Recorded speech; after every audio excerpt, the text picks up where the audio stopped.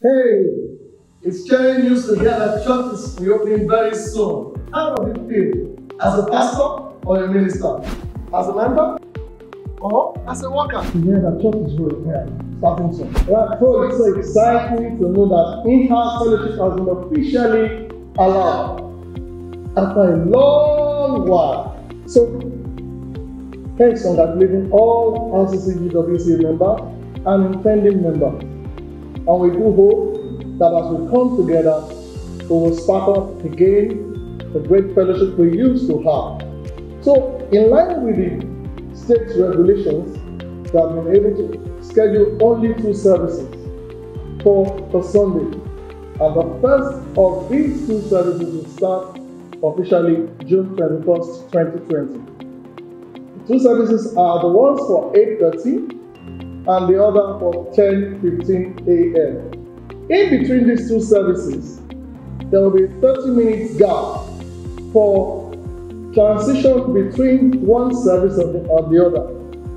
The first service in-house worshippers will exit the building, and the second service in-house worship, worshippers will also come in. Also, simultaneously, while that is going on, I mean, um, we're going to have our online Sunday school and it's always been. It's just that the time has changed from 8 o'clock now to 9.45 to 10.15. As that goes on, we trust that the participation will also improve.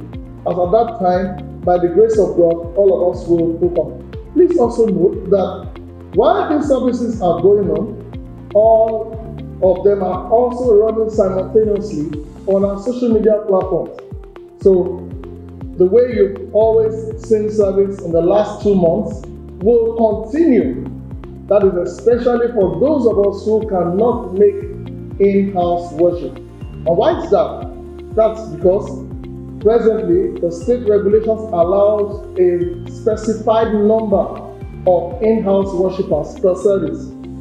So if you don't get to meet any of the in house worship uh, or in house services, you will have to watch online or go online for it. So we trust God. The explanation on how to join any of the in-house services will come in much later.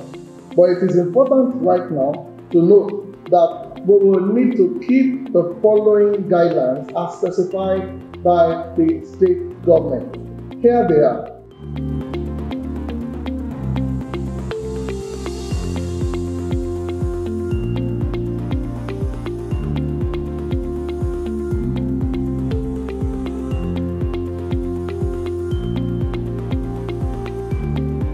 Right, thank you.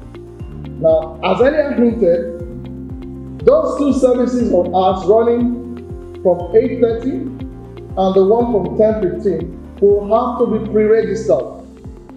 Uh, an online form is designed and you can always get it through our social media platform that you will click and uh, make your registration before you can be allowed to enter or to come into the auditorium. So we expect that you will do the needful, fill in as early as possible so that you can be part of it. But in case you just don't miss it, no, nothing, there's nothing missing. So we expect that you will join us on our social media platform as you used to do. That is strictly for Sunday services. Please note that Wednesday services continue to be online from 6 o'clock for about 45 minutes. Both services are still far apart and God will still reach you. So we expect by the grace of God that you will keep dates. We will keep the dates with us. God bless you as you do so in Jesus' name. All right, so on behalf of the entire pastorate of Watching Just Assembly, we can't even wait to receive you. We love to see you, we love to have you. So until we see physically, in house, worshiping together on June 21st, remain blessed remain secure, above all, remain in Christ. God bless you.